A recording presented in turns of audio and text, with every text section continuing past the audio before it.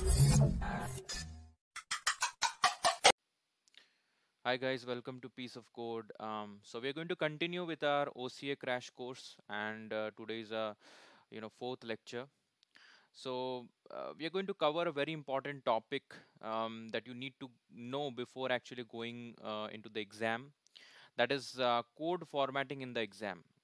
Uh, it's very very important, so we're going to cover that today. So before going into this topic, let me just show you one more example of how to create packages in Java. Because we left that in our last session as the video was running too long. So it's really easy to create an um, you know package in Java. Just uh, go over to your Eclipse and uh, in your SRC folder, just right click, then go to new and then go to package. You can name your package um, as for the standards that I told you in the last lecture. That is basically your domain name in reverse and then your child packages like for example com.amazon. Um, something something let's say java 8 something like that but for now I want to keep it simple so I'm just going to name this um, new package as package example or something like that all right and uh, basically it's really easy to create a new class in your package. Just go to your package right click and then new class and just name the class as anything. So just let let me name it as example example package or something like that. Let me just click on finish. One thing that you need to keep in mind is that um, you need to specify the package name it should be the first line in your code whenever you are writing a class in a package. You need to identify that yes, this particular class belongs to this particular package. So it is written there. And uh, basically, if you want to use this example package class in some other package, just need to import this class in another package like we learned in our last session, right? Just need to do, for example, import, uh, what is the package name? Package package example dot example package.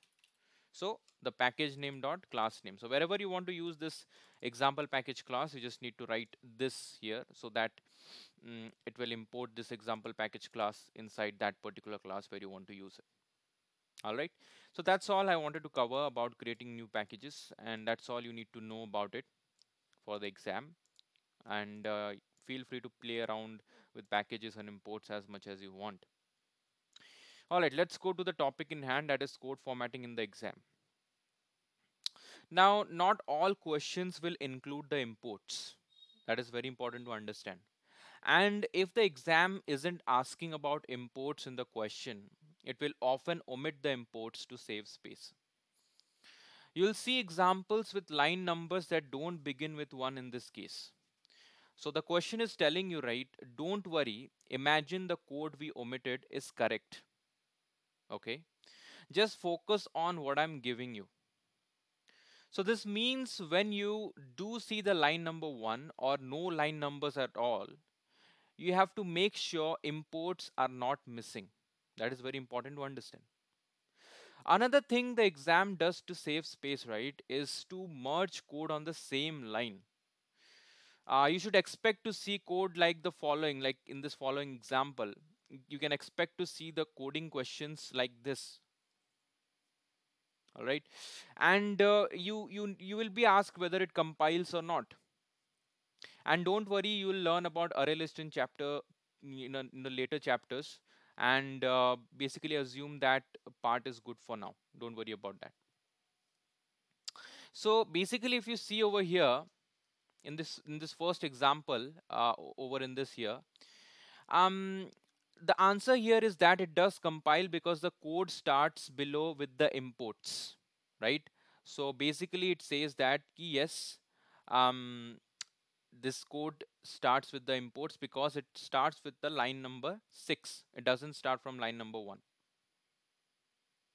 now what about this one over here? Does it compile for this one, you would answer doesn't compile, does not compile, right?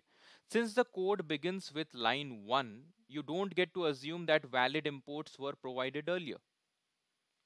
The exam will let you know what package classes are in unless they are covered in the objectives. all right you'll be expected to know um, array list in java.util that is very simple to understand at least you will once uh, you know get to you know uh, know this thing when we are going to cover array list so don't worry about that. But for now just understand that it is present in the java.util package. All right now also another thing to keep in mind uh, is that uh, this code doesn't have a main method.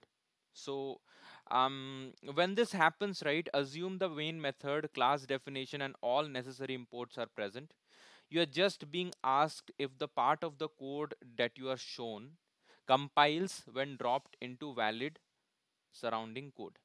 So you don't have to worry about any other thing. So the main takeaway from this lecture is that when your code starts with number one line, all right, and there are no imports over here, you need to say that it doesn't compile because it starts with line number one. And it makes sense because if a particular class starts from line number one and it uses some kind of class that needs an import and it is not present then um, it, it will throw compilation error.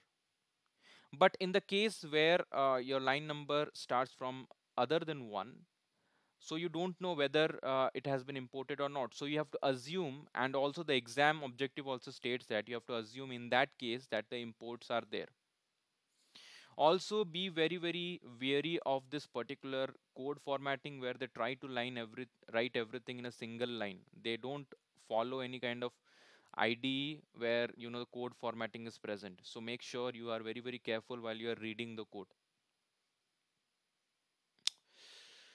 Alright guys, so that was the most important thing that I wanted to discuss in this lecture.